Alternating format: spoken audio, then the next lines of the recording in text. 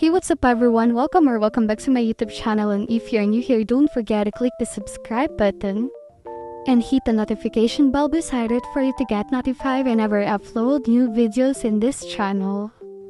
For today's video, we're going to have another quick tutorial and I will teach you how to create TikTok AI avatar. So if you're interested, just keep on watching.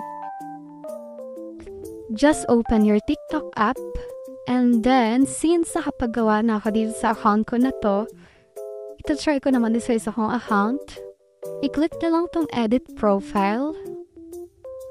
And then, click create avatar. AI, create avatar.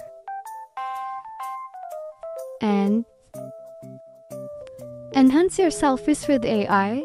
Use your photos to get 30 high quality avatars in 5 minutes with an AI technology. Click nyo lang tong create. And meron na nga ako. Select nyo lang yung photos niya dito. Hindi gamitin yung photos. And then select your prefer AI style. So may iba-ibang style dito. Mamili lang kayo dyan.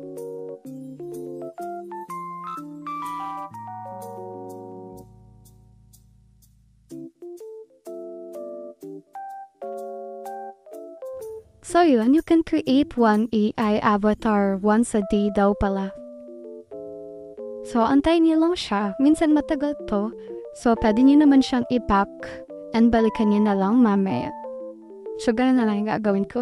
So, ganun lang ulit para ma-check niyo kung okay na. Click niyo lang yung edit profile and ito na nga siya.